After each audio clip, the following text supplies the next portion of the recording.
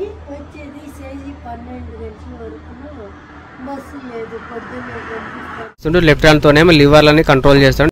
పబ్బుల్లో canteen masala dosa. Idli తింటా ఇడ్లీ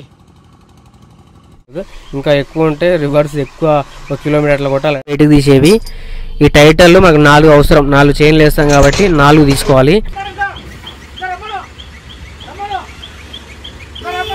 ఇదంతా కూడా ఇప్పుడు మనం తీసుకెళ్ళేటప్పుడు కింద పోతుంది కాబట్టి తీసేస్తాం మొత్తం కూడా.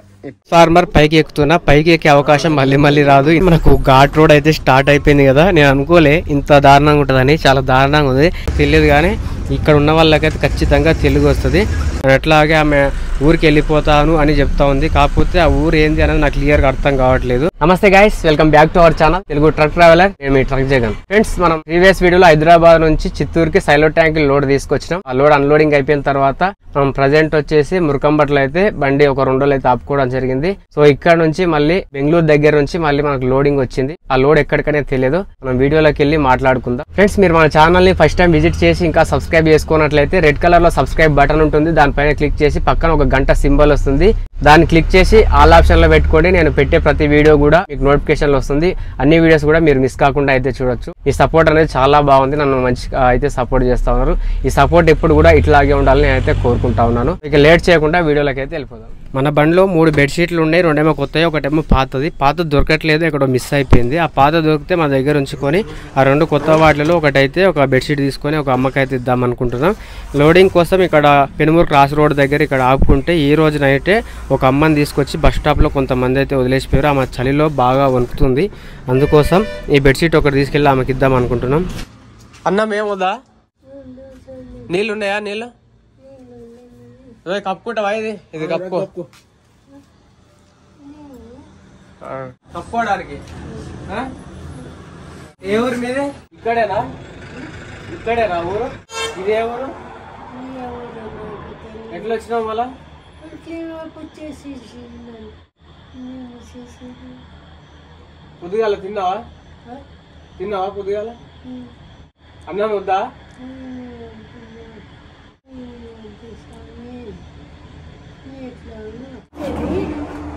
పోయేది. వచ్చేది చేసి పన్నెండు గంటల వరకు బస్సు లేదు. పొద్దున్నే పంపిస్తాను. ఎట్లాగే ఆమె ఊరికి వెళ్ళిపోతాను అని చెప్తా ఉంది. కాకపోతే ఆ ఊరు ఏంది అనేది నాకు క్లియర్గా అర్థం కావట్లేదు. మండల్ ఏది మండల్ మండలం ఏది తెలియదా ముల్లపాంగల్ ఎన్ని రోజులు అయింది వచ్చి ఇక్కడ ఎన్నాళ్ళు అయిపోయినావు ఏమైపోయినావు ఎవరు తెలిసేసాను ఏమో ఎక్కటి తెలియదు స్వామి పోవాల కదా ఊరికి పోవాల ఊరికి పోతావా ఉమ్. ఇంకా మూడు వందలు కట్టు.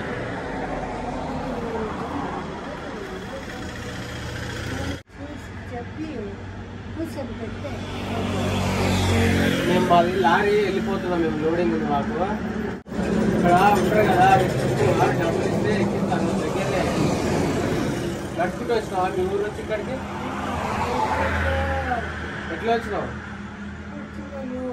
దేవర్షులంతా కొట్టి ఇది చేసి పంపించినాడు ఎవరు? దేవుడు నాకేం చూసిరు కదా ఈ అమ్మ పరిస్థితి ఎట్లుందో. ఈమె ఎక్కడో పెట్రోల్ బంక్ దగ్గర రోడ్డు పైన పడుకొని ఉంటే కొంతమంది తీసుకొచ్చి ఈ పెనుమూరు క్రాస్ రోడ్ దగ్గర ఒక బస్ స్టాప్ ఉంటే ఇక్కడైతే వదిలేసిపోయారంట. టైం వచ్చేసి ఇప్పుడు పది అవుతుంది. మేము ఏడు గంటలకు ఆ సమయంలో చూసినాం. అయితే ఆమెకు అన్నం కూడా పెట్టాం కాకపోతే తిన్నా అని చెప్పింది. ఇంకా అండ్ వాటర్ బాటిల్ ఇచ్చినాం టీ తాగుతా అని చెప్తే టీ తెప్పించినాం అండ్ బన్ను కూడా ఇచ్చినాం. ఏడు గంటలకు ఆ సమయంలో. ఇప్పుడు టైం వచ్చేసి పది అవుతుంది. మేము పోయే టైంలో చూస్తే ఆమె దగ్గర ఎటువంటి బిస్కెట్ కానీ అట్లా ఏం లేకుండే. ఈ బస్ స్టాప్లో కింద వేసుకోవడానికి ఒకటి ఉండే ఆయన కప్పుకోవడానికి ఏం లేకుండా. అయితే మన బండ్లో ఉన్న ఒక బెడ్షీట్ ఇచ్చినాం. అండ్ అట్లాగే ఆమె ఊరికి వెళ్ళిపోతాను అని చెప్తా ఉంది. కాకపోతే ఆ ఊరు ఏంది అనేది నాకు క్లియర్గా అర్థం కావట్లేదు. సో ఆమె దగ్గర డబ్బులు లేవు కాబట్టి కొంతవరకు అయితే మనం సాయం చేసినాం. ఆ డబ్బులు అనేవి చూసైనా సరే ఎవరైనా మార్నింగ్ టైంలో ఎవరైనా ఆమె క్లియర్ కట్గా చెప్తే వాళ్ళ ఊరికి పంపించే ప్రయత్నం ఎవరైనా చేస్తారని చెప్పి అయితే మన వంతు సాయం అయితే చేసినాం. ప్రజెంట్ లొకేషన్ వచ్చేసి చిత్తూరు సిటీ బైపాస్ రోడ్లో ఉన్నాం. సర్వీస్ రోడ్లో అయితే పోతున్నాం. ఇక్కడ నుంచి మనం పక్కన రోడ్ కనిపిస్తుంది. అది మెయిన్ రోడ్డు. అందులోకి అయితే ఎంటర్ కావాలి. ఈ బండ్లు చూసారు కదా ఎట్లా అడ్డం పెట్టిర్రు సర్వీస్ రోడ్ నుంచి మెయిన్ రోడ్ పోవాలంటే కొంతమంది డ్రైవర్లు పక్క వేరే బండ్ల వాళ్ళకి ఏమైనా ఇబ్బంది కలుగుతుందా అని కూడా ఆలోచించారు. మొత్తం ఇక్కడ పెట్టేసి తినిపోయారు. ఇక్కడ ముందు పెట్టుకుంటే ప్రాబ్లం లేదు కానీ అక్కడ మనకు సర్వీస్ రోడ్ నుంచి మెయిన్ రోడ్కి వచ్చే దగ్గర అయితే పెట్టారు అట్లాంటప్పుడే మన బడి పెద్దది కాబట్టి కొంచెం ప్రాబ్లం అవుతుంది.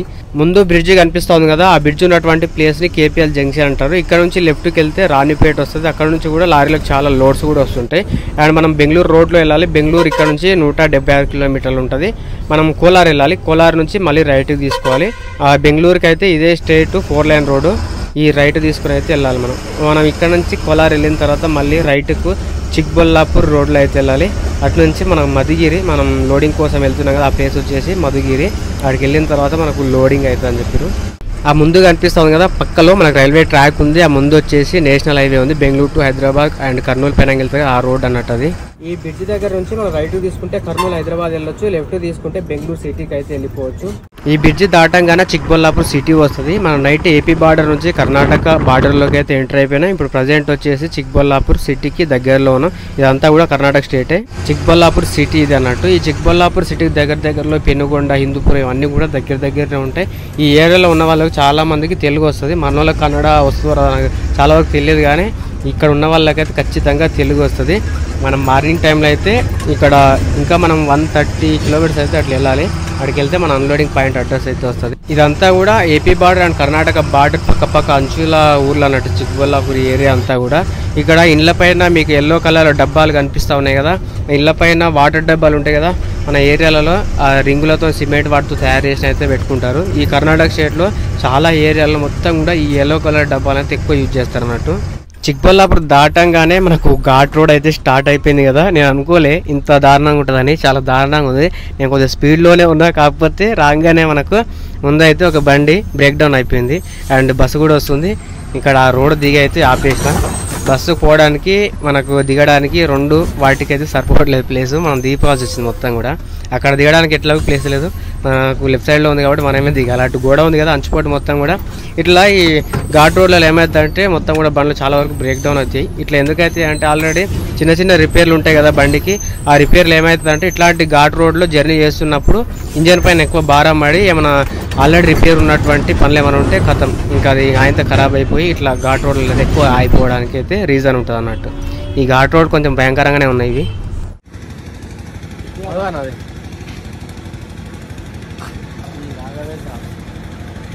టైం ఎయిట్ థర్టీ అవుతుంది. మనం ఆల్మోస్ట్ అన్లోడింగ్ దగ్గర దగ్గర రీచ్ అయితే అయిపోయింది ఇంకా టెన్ కిలోమీటర్స్ మాత్రమే ఉంది. శ్రీ రాఘవేంద్ర పబ్బుల క్యాంటీన్ మసాలా దోశ బాలా దోశ సబ్బ దోశ ఇడ్లీ పలావ్ బిర్యానీ. ఇడ్లీ తింటా? ఇడ్లీ. మధుగిరి బైపాస్ రోడ్లో ఉన్నాం. మన బండి వచ్చేసి అక్కడ ఆపినాం. ఇక్కడ టిఫిన్ చేయడానికని ఈ బైపాస్ రోడ్లో ఆపుకున్నాం. ఇక్కడ నుంచి ఇక్కడ టెన్ కిలోమీటర్స్ వెళ్ళాలి. ఈ పెద్ద మనిషి మేము టిఫిన్ చేస్తుంటే మా వైపే చూస్తుంటే తిను ఏదైనా నాకు నచ్చింది అని చెప్తే పొలావ్ అయితే పెట్టించుకున్నాడు. చేతులు కూడా అసలు బాగా విపరీతంగా ఆకలిస్తూ ఉన్నట్టుంది. చేతులు కూడా కడుక్కోకుండా తినాలని అయితే చూసిండు. సో చేతులు మళ్ళీ కడుక్కోమంటే కడుక్కుంటున్నాడు. కూర్చో.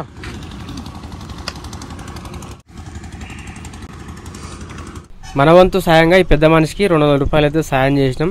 ఇంకా పెద్ద మనిషి కళ్ళలో ఆనందమే వేరు. అసలు వాళ్ళకి ఎట్లా అనిపిస్తుంది అంటే ఆకలి టైంలో అన్నం దొరికినప్పుడు లేని పరిస్థితుల్లో కొన్ని డబ్బులు కనిపించినప్పుడు వాళ్ళ కళ్ళలో ఆనందం చెప్పలేనిది. ఆయన దండం కూడా పెడుతున్నాడు చూడండి. ఆ ఆ ఏజ్లో వాళ్ళకు ఎవరు చూసుకున్నప్పుడు పరిస్థితులు అయితే చాలా దీనంగా అయితే ఉంటాయి.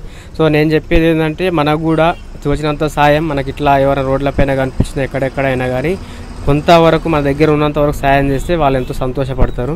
మక్కిరి దాటి ఫైవ్ కిలోమీటర్స్ వచ్చినాం ఇంకా ఫైవ్ కిలోమీటర్స్ వెళ్తే మనకు లోడింగ్ పాయింట్ వచ్చేస్తుంది. లోడింగ్ పాయింట్ ఊరు వచ్చేసి ఒసకేరే. ఇక్కడ ఈ ఏరియాలో ఉన్న వాళ్ళకి చాలా మందికి తెలుగు వస్తుంది. మన తెలుగులో మాట్లాడితే వాళ్ళకి అర్థమవుతుంది.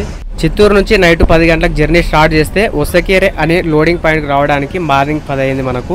చిత్తూరు నుంచి ఒసకేరకు రావడానికి రెండు వందల ఎనభై కిలోమీటర్లు పట్టింది. డీజిల్ వచ్చేసి ఏడు వేల ఐదు వందల రూపాయలు. అక్కడ నుంచి మనం ఎంటీ వచ్చేసినాం. ఇదంతా కూడా వృధా ఖర్చు అన్నట్టు మన చిత్తూరు సరౌండింగ్లో లోడింగ్ దొరకలేదు. అందుకోసం ఇక్కడ దాకా రావాల్సి వచ్చింది. మనం లోడ్ చేసుకునే ట్రాన్స్ఫార్మర్ వచ్చేసి ఇది. ఈ ట్రాన్స్ఫార్మర్ ఇక్కడ నుంచి ఇక్కడ వరకు బాడీ లెవెల్ ఉంటుంది. అంత సైడ్లలో ఉన్నాయి కదా అవి. రేడియేటర్లు అంట.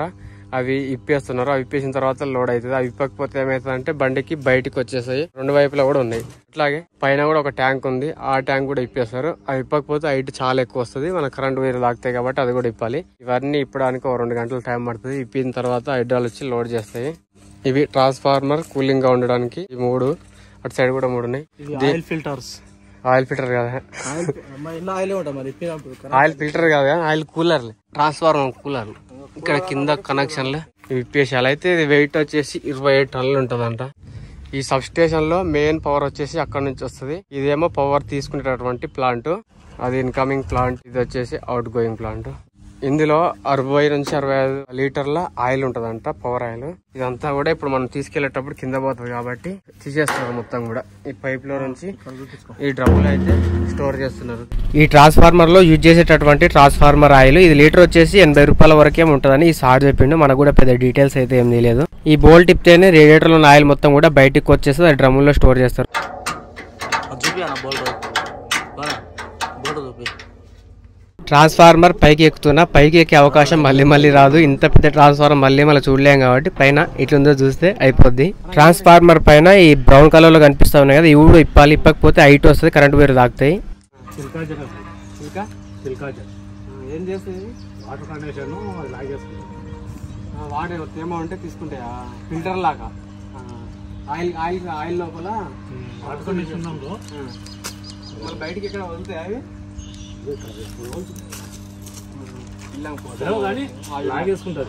ఈ రాళ్ళు కనిపిస్తున్నాయి కలర్ కలర్ రాళ్ళు. ఇవి ఏం చేస్తాయంటే ట్రాన్స్ఫార్మర్లో ఆయిల్ ఉంటుంది కదా ఆయిల్లో ఏమన్నా వాటర్ వచ్చి మిక్స్ అయినట్టయితే తేమ లాకుంటే ఇవి మొత్తం లాగేసుకుంటాయంట. లాగేసుకొని ఇక్కడ చిన్న హోల్స్ ఉన్నాయి. ఈ హోల్స్ ద్వారా బయటికి పంపిస్తాయి. ఇవి వాటర్ని తీసేసుకోవడానికి వీటి పని. అంతే ఇళ్ళ కూడా రాళ్ళు ఉన్నాయి అండ్ ఇళ్ళ కూడా ఉంది. కానీ ఫుల్ ఫుల్ కాలే ఇంకా కొద్దిగా ఉంది. ఇక్కడ ఆన్ చేస్తే కథం. ఆయిల్ మొత్తం పోతూనే ఉంటుంది అమ్మ సౌండ్ వేరే వస్తుంది. ఆయిల్ ఇంకా ఉంది. ఇలా ఫుల్ ఉంది. ఇంకా కాల్ చేయలే. దానికి సౌండ్ వేరే వస్తుంది. అది అయిపోయింది ఇది అయిపోలే ఇంకా.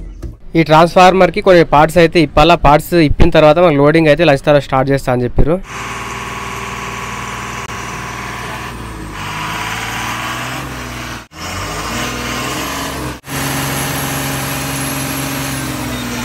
లంచ్ టైం తర్వాత లోడింగ్ స్టార్ట్ చేస్తా అని చెప్పారు సబ్ స్టేషన్ లోపలికి మనం బండి తీసుకెళ్తున్నాం. లోపలికి వెళ్ళిన తర్వాత ట్రాన్స్ఫార్మర్ లోడ్ అవుతుంది. ఈ ఊరు వచ్చేసి ఓసకేరే ఊరు. మెయిన్ రోడ్ పైనే సబ్ స్టేషన్ ఉంది. మనం రివర్స్ తీసుకోవాలి. మెయిన్ రోడ్ నుంచి రివర్స్ తీసుకుంటున్నాం. వంద మీటర్ల దూరంలో మాత్రమే ఉంది సబ్ స్టేషన్ లోడింగ్ చేసేటటువంటి పాయింట్. తక్కువ దూరమే కాబట్టి పెద్ద ఇబ్బంది అయితే ఏం లేదు. ఇంకా ఎక్కువ ఉంటే రివర్స్ ఎక్కువ ఒక కిలోమీటర్లు కొట్టాలంటే కొట్టలేము మనం మొత్తం పోతే లోపల తిప్పుకోవడానికి జాగలేదు చిన్న సబ్ స్టేషన్. అందుకోసం ఇట్లా రివర్స్ తీసుకుంటున్నాం. ఇది చిన్న రోడ్డు ఆటోలు బైక్లు వచ్చినా కూడా పాస్ కాదు. ఓన్లీ మన బండి మన బండి ఇక్కడ పెట్టామంటే మొత్తం ట్రాఫిక్ జామ్ అయిపోద్ది. ఈ లోడింగ్ స్టార్ట్ చేసి ఇదంతా లోడింగ్ అయిపోయేసరికి ఎంత ట్రాఫిక్ జామ్ చూడాలి. కొంతమందికి ఇబ్బంది కూడా అవుతుంది. ఆల్రెడీ ట్రాన్స్ఫార్మర్ రోడ్ మీద తెచ్చి పెట్టుకుర్రు మనం ఇంకా అది లేపిన తర్వాత వెనక్కి రివర్స్ పెట్టుకో తొందరనే అయిపోతుంది అనుకుంటా లోడు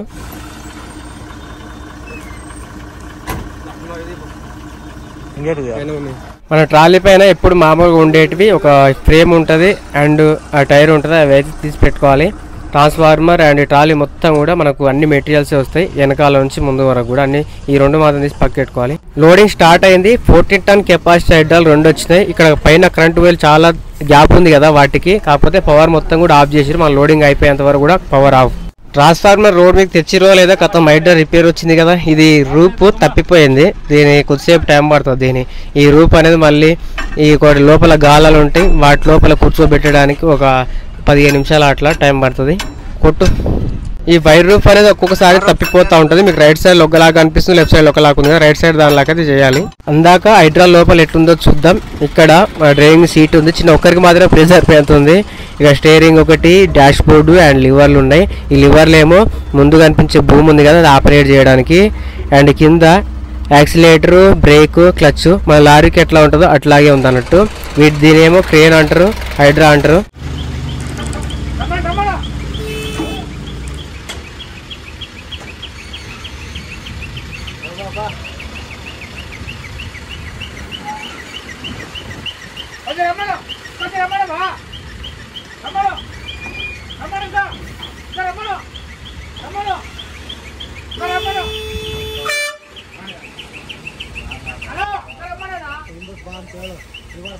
రెండు క్రేన్లు ట్రాన్స్ఫార్మర్ని ఒక నాలుగున్నర ఫీట్ల ఎత్తులో అయితే లేపట్టుకున్నాయి. ఇందాక రివర్స్ పెట్టినా కదా ఇప్పుడు ఆల్రెడీ రివర్స్ పెట్టిన లాస్ట్లో అయితే పెట్టేసారు ఈ రెండు క్రేన్లు ట్రాన్స్ఫార్మర్ని లోడ్ చేయడానికి పదిహేను వేల రూపాయలు అయితే ఛార్జ్ చేసారు ఒక రోజు మొత్తానికి అని చెప్పి పదిహేను వేల రూపాయలు ఇచ్చారు కొన్ని కొన్ని సార్లు అవర్ల లెక్క కూడా ఉంటది. ఎన్ని గంటలు పని చేస్తే అంత మనీ అన్నట్టు. ఈ లోడింగ్ ప్రాసెస్ స్టార్ట్ అయ్యి రెండు గంటల పైన అవుతుంది. వెనకల నుంచి ట్రాన్స్ఫార్మర్ ముందుకు అయితే జరుపుతారు ఇలా లోడ్ చేసేటప్పుడు డ్రైవర్ గానీ క్లీనరు మన లారీకి సంబంధించిన వాళ్ళు ఒక ట్రాలీ పైన ఉండి క్రేన్ ఆపరేటర్లు ఉంటారు కదా వాళ్ళకైతే డైరెక్షన్ ఇవ్వాలి లోడ్ సెంటర్లో స్టార్ట్ చూసుకోవాలి. ట్రాన్స్ఫార్మర్ వెయిట్ వచ్చేసి ఇరవై ఐదు టన్నులు. అందుకోసమే రెండు క్రేన్లు అయితే లోడ్ చేస్తూ ఉన్నాయి. చాలా వెయిట్ ఉంటది. లోడింగ్ కంప్లీట్ అయిపోయింది. ట్రాన్స్ఫార్మర్ పైన ఉప్పులకు చైన్లు తగిలిస్తారు కదా ఆ చైన్లు అనేవి ఇప్పుడు తీసేస్తా ఉన్నారు. ఈ క్రేన్ ఆపరేటింగ్ ఎట్లా చేస్తున్నాడు చూడండి ఈ బ్రదర్ రైట్ హ్యాండ్ తోనే స్టీరింగ్ కంట్రోల్ చేస్తుండు లెఫ్ట్ హ్యాండ్తోనేమో లివర్లని కంట్రోల్ చేస్తుండు. ఈ లివర్లను యూజ్ చేసుకొని ఆ ముందు ఉన్నటువంటి భూమి ఈ భూమి ఉంది కదా భూమి అనేది ముందుకు అండ్ వెనక్కి పోవడానికి ఇలా లివర్లతోనైతే కంట్రోల్ చేస్తారు. సో మన లారీ డ్రైవింగ్ కొంచెం సింపుల్ ఈ క్రేన్ ఆపరేటింగ్తో చూసుకుంటే జర కొంచెం కష్టంగానే ఉంటుంది అని నాకు అనిపిస్తుంది. నేర్చుకుంటే ఈజీ కావచ్చు. ట్రాన్స్ఫార్మర్ లోడ్ అనేది సెంటర్లో ఉందా లేకపోతే కొంచెం లెఫ్ట్ లేదా కొంచెం రైట్ ఎక్కువ అయిపోయింది అనేది మనం ఈ విధంగా అయితే చెక్ చేసుకొని ఆపరేటర్లకు చెప్పాలి క్రేన్ ఆపరేటర్లకు. సో ఆ తర్వాత ఫైనల్ అయితే చేస్తారు. ఫైనల్లీ లోడింగ్ మొత్తం కూడా కంప్లీట్ అయిపోయింది. మనం మెయిన్ రోడ్కి వెళ్ళి చైన్లు వేసుకోవాలి. ఈ రోడ్ పైన చైన్లు వేసుకుందామంటే వెనకాల ట్రాఫిక్ జామ్ అయిపోయింది.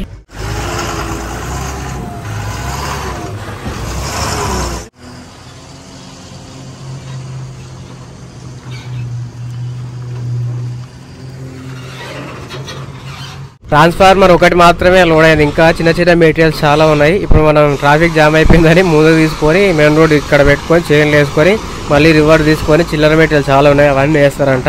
వాటికి కూడా కొద్దిగా టైం పడుతుంది. దీనికి ఏమో రెండు గంటల పైనే పట్టింది. వాటికి కూడా రెండు గంటలు అట్లా పడుతుంది. మళ్ళీ మనం రివర్స్ పోయేది ఉంది. మనం చైన్లు వేసుకొని రివర్స్ పోవాలి. లేకపోతే ట్రాన్స్ఫార్మర్ అటు ఇటు కదిలిపోద్ది కాబట్టి చైన్లు వేసుకోవాలి. ఇవి డీ సర్కిల్ అంటారు చైన్లని అండ్ టైటర్లని అయితే లింక్ చేస్తాయి ఇవి.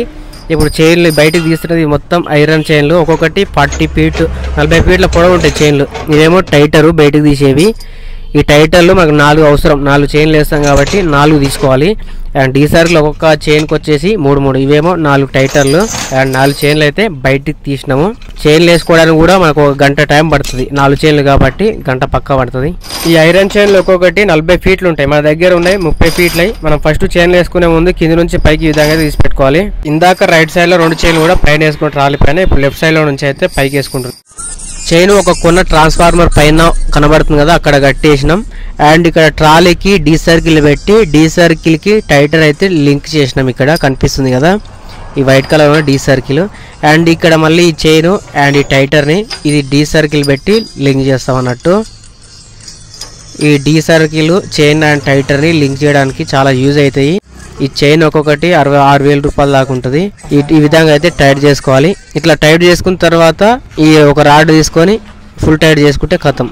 ఇంకా చిల్లర మెటీరియల్ అని చెప్పినా కదా మళ్ళీ మనం రివర్స్ తీసుకొచ్చినాం. ఈ ఆయిల్ డ్రమ్ములు అన్నట్టు ఇంత ట్రాన్స్ఫార్మర్లోకి నుంచి బయటకు తీసినటువంటి ఆయిల్ని ఈ క్రేన్ మళ్ళీ లోపల నుంచి సబ్ స్టేషన్ నుంచి బయటకు తీసుకుపోతుంది. ఇవి ఒరిపొట్టు బస్తాలు వీటిపైన బుష్లు లోడ్ చేస్తారు. అందుకోసం వీటిని తీసుకొచ్చినాం. వీటినే బుష్లు అంటారు. మూడు బుష్లు ఉన్నాయి. ఒక్కొక్కటి అయితే లోడ్ చేస్తుంది హైడ్రా. ట్రాన్స్ఫార్మర్ పైన కనిపిస్తాయి. అండ్ పెద్ద పెద్ద కరెంట్ పోల్ దగ్గర కూడా కనిపిస్తాయి ఇవి. ఇవి బుష్లో దీని కింద బస్తాలు పెట్టి లోడ్ చేసారు ఎంత జాగ్రత్త చేసారు చూడండి. ఎందుకంటే ఒకటి వచ్చేసి మూడు లక్షలు ఒక దాని కాస్ట్ వచ్చేసి మూడు ఉన్నాయి తొమ్మిది లక్షలు అన్నట్టు. ఈ మూడు చాలా జాగ్రత్త దీనికి రెండు బెల్టులు వేసుకోవాలి. ఒకటి పోయినా కానీ కిరాయి కాదు మనమే ఉల్టా కట్టాల్సి వస్తుంది. ఇది ట్రాన్స్ఫార్మర్ ఆపరేటింగ్ ప్యానల్ బోర్డు. లాస్ట్లో జాగా మిలితే మధ్యలో అయితే లోడ్ చేస్తారు మొత్తం కూడా ఫుల్ ఫిల్ అయిపోయింది ట్రాలీ మొత్తం కూడా.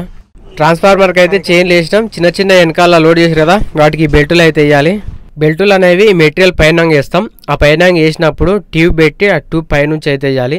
ఎందుకంటే బెల్టులు తెగిపోతాయి ఐరన్ పైన వేస్తే రన్నింగ్లో కదులుతాయి కాబట్టి తెగిపోతాయి. అందుకోసం ఈ విధంగా ట్యూబ్ పైనుంచి బెల్ట్ వేస్తాం. ఇది ట్రాలీ కింద భాగం. కొండి ఉంది కదా బెల్ట్కి కొండి అనేది ట్రాలీకి ఈ విధంగా అయితే తాకిచ్చి మెటీరియల్ పైన తీస్తాం. నా చేతిలో ఉన్నదాన్ని టైటర్ అంటారు. అన్న చేతిలో ఉన్నదేమో బెల్ట్. ఈ బెల్ట్ని టైటర్లో ఇది ఉంది కదా ఇందులో నుంచి అయితే పెట్టాలి. చూడండి మీకు అర్థమవుతుంది ఎట్లా దీన్ని పెట్టి ఎట్లా టైట్ చేస్తారు అనేది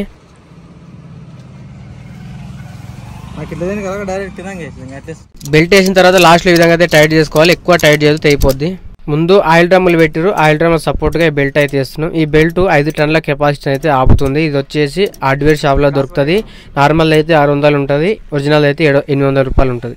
ట్రాన్స్ఫార్మర్కి అటాచ్గా ఒక బోర్డు ఉంది. ఇది ఓపెన్ అయిపోయింది. చూద్దాం లోపల ఏముందంటే ఈ విధంగా అయితే కనిపిస్తుంది. సో గైస్ వీడియో అయితే ఇంతే అన్నట్టు. ఇంకా మనం అన్లోడింగ్ వచ్చేసి నాచారం అన్లోడింగ్ ప్లేస్ వచ్చేసి హైదరాబాద్లో ఉంటుంది. అది ఇండస్ట్రియల్ ఏరియా ఈ ట్రాన్స్ఫార్మర్కి అయితే పూర్తిగా రిపేర్ వచ్చిందంట. అందుకోసం ఇది అక్కడ తీసుకెళ్ళి దీన్ని మళ్ళీ రిపేర్ చేయించి ఇదే ప్లేస్కి తీసుకొస్తారు లేకపోతే ఎక్కడికో తెలియదు. ఇది రావడానికి మళ్ళీ ఆరు నెలలు పడుతుందంట. పేపర్లు కూడా వచ్చేస్తే మనం నైట్ బయలుదేరాలి. ఇక్కడతో వీడియో అయితే ఎండ్ చేస్తాను. ఇది వచ్చేసి part one and part two కూడా ఉంటుంది. పార్ట్ టూతోని ఈ ట్రిప్ అయితే కంప్లీట్ చేస్తాను.